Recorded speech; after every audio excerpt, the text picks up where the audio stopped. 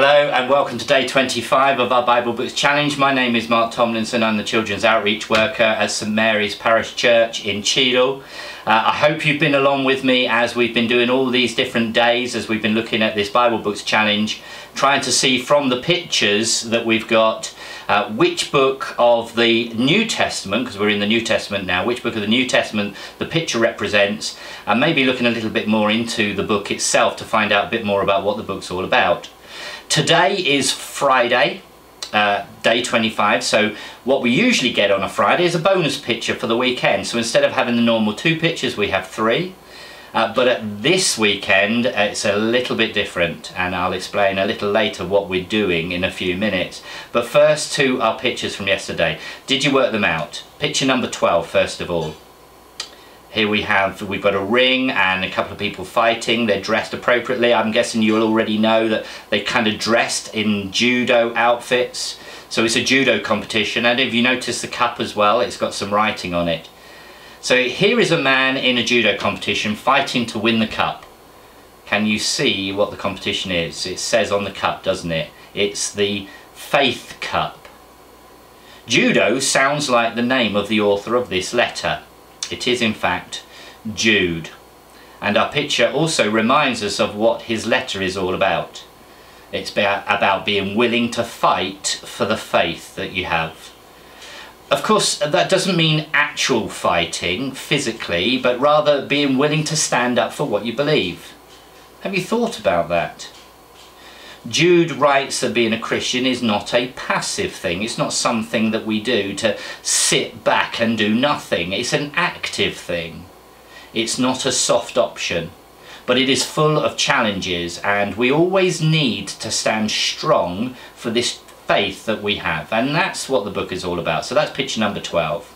Here's picture number 13. So what did we have? We have uh, what seems to be a king on a throne uh, he's got his uh, scepter there and his, his, his throne is on a mat and the mat has a big letter on it, the letter U. So a king on a U mat.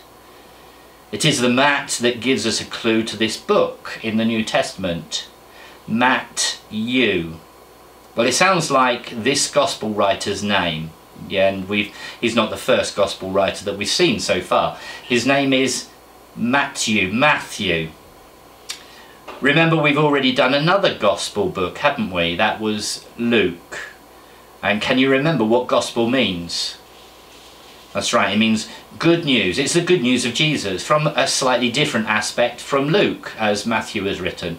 And this book was written by one of the 12 disciples who was very keen to show the Jews that Jesus fulfilled, that is, made true all the Old Testament prophecies about the coming Messiah. Prophecies are writings about the future, things that are going to happen. And the prophets, God's messengers in the Old Testament, wrote loads of things about God's coming Messiah. That is, God's promised chosen special king. The Jews expected a king descended from King David, and Matthew shows them that Jesus has all the credentials. That is, he, he ticks all the boxes for the things that were written. But Jesus was so much better than an earthly king. In fact, Matthew even traces Jesus' ancestors back to Abraham, the father of the Jewish nation, way back in Genesis. So those are our two books today, uh, 12 and 13, Jude and Matthew. And now to our Bible Books Challenge Weekend Special. I'm going to give you the opportunity, uh, the chance to try and remember some books from the Old Testament. So rather than giving you the bonus picture, so having three uh, to consider over the weekend, uh, three new ones, I want us to think back to all the 39 books that we've done in the Old Testament and give you a chance for a bit of a review of all that you've learnt. So what I'm going to do is I'm going to give you 12 pictures from the 12 of the 39 books from the Old Testament and what I would like you to do is three things.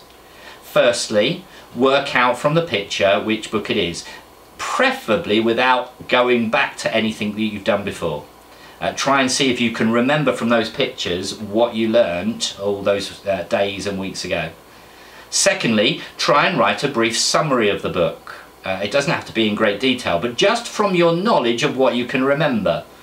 Uh, and thirdly, to put the 12 in their correct order of appearance in the Old Testament. They're obviously going to be scattered around the Old Testament, but to put them in their, what's that time phrase I've used before, in their order, in their chronological order, although that's not strictly true, but it's, it's the order in which they appear in our Bibles today. Now you could do this on your own, but isn't it a great opportunity if you've been doing this as a family to do it as a family and to work collaboratively together, work together to try and see what you can remember and which of the books they are and see if you can share your knowledge as you go through. So here are the 12 books. Remember what we're doing? We're, we're saying what you see, trying to work them out. This was one of the funny ones. I, if you remember, I explained number one, uh, my rector in particular uh, says he'll never forgive me for that first one, but I thought I'd throw it in there again, give you a chance to look at that one. So there's the first and the second and the third on the top line. Then we've got four, five in the middle and six on the second line. Seven, eight and nine on the third line and here we go with the last three. 10 11 here it comes. And finally the last one we've got 12 so remember you're going to have to work them out again. I'm really encouraging you not to look up, not to look back, not to do any of that, but try and work with each other, remind each other and discuss all the things you've done. Now, as I say, you may be doing that already in your families or together, uh, maybe over lunch each day, however you're doing that if you're not with others, well, why don't you ring some of your friends up and see if you can do a Zoom meeting or something similar and uh, work them out together uh, over the weekend. And then on Monday, I'll give you the answers to those 12. So you know what you're doing.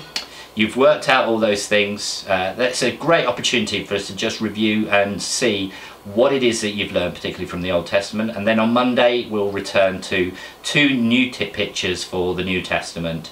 So have a, a great weekend. Uh, I hope you're enjoying the weather as well. And um, stay safe and uh, have lots of fun. God bless.